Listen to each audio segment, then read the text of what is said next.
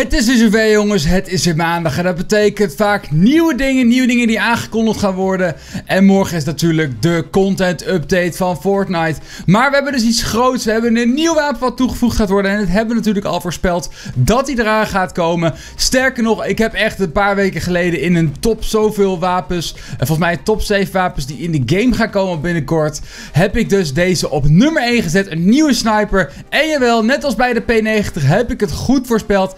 Als je die video nog niet gezien hebt, klik dan even op het i'tje. Want blijkbaar komen bijna alle wapens die ik voorspel. Nu, nu al de nummer 1 en de nummer 2 zijn, komen allebei in de game. Eentje zit al in de game, maar eentje die komt dus, de sniper dus, die komt nog in de game. Dus ga die video sowieso even checken. Want het zou zomaar kunnen dat de andere 5 uh, eh, wapens, volgens mij waren het er 7 in totaal namelijk. Correct me if I'm wrong.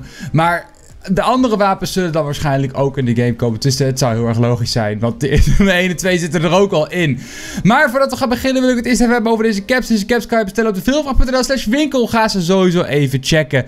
Laten we gaan kijken naar wat er nieuw is. We hebben natuurlijk dus nu de nieuwe sniper. Die is aangekondigd. Staat ook in de nieuws tab, laten we zeggen, van Fortnite. Daar staat hij heel duidelijk hij staat bij een nieuwe Epic and Legendary Sniper Rifle capable of dealing high damage to structures. Super vet. En uh, dit, dit confirmt gelijk dat het een Epic variant heeft en dus een Legendary variant. Een Legendary variant, dat wisten we eigenlijk al wel zeker. Maar dus ook een Epic variant. En ik heb nog meer vette dingen. Ik heb ook footage voor jullie. We zijn hier een beetje laat mee, ik weet het. Maar we wilden even wachten totdat de Heavy Sniper echt geconfirmed is. En dat is hij nu.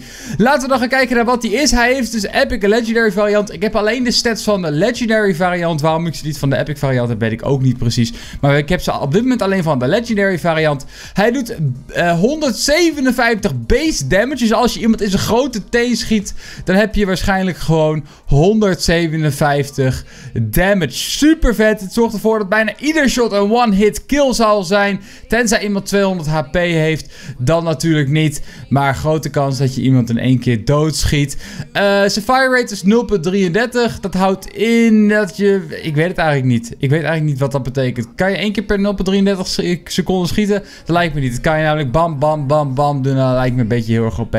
Zou kunnen dat dat wel zo is. Maar ik, ik snap niet precies wat ze daarmee uh, bedoelen. Magazijn size is maar één. Je hebt er maar eentje tegelijk die magazijn. Dus als je eentje één keer schiet, dan moet je gelijk reloaden. En een reload duurt maar liefst 4,1 seconden. Dus meer dan 4 seconden. En dat is echt heel erg traag. Super vet wel dat deze sniper in komt. Want wat nou heel erg uniek zal zijn aan deze sniper. En wat nog niet 100% confirmed is, maar wel waarschijnlijk confirmed.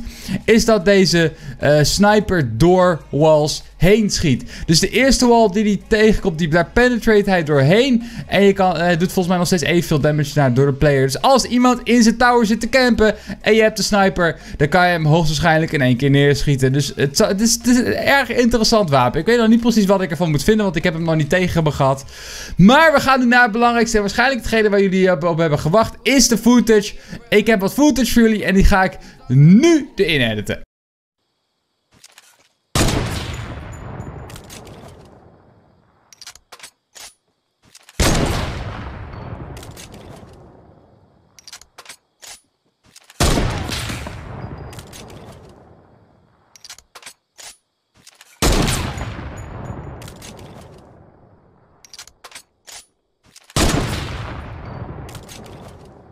Jullie zagen het goed. Hij two-shot een boom en hij one-shot alle structures. Of het nou hout of ijzer is, maakt niks uit. Hij schiet er in één keer, en hij schiet hem in ieder geval in één keer kapot. Of hij er ook doorheen schiet, is dus nog niet 100.000% zeker. Maar ik denk het wel. Ik weet bijna zeker dat het zo is, aangezien het al geleakt was. En aangezien het gewoon hartstikke logisch zou zijn dat hij dat gewoon zou kunnen. Super vet, maar ook echt een super vet iets. Een super vet wapen. Ik kan niet wachten tot hij erin komt. We zijn natuurlijk morgenochtend zijn wij live om dus die uh, de content update te gaan bekijken. Want er kunnen waarschijnlijk meerdere dingen komen. We weten het nooit precies. Maar we zullen sowieso live zijn morgenochtend. Wachtend op dit wapen. En we gaan hem natuurlijk meteen zoeken. Kijken of we hem kunnen vinden. Gaan we hem testen voor jullie. Dus wees er morgenochtend bij.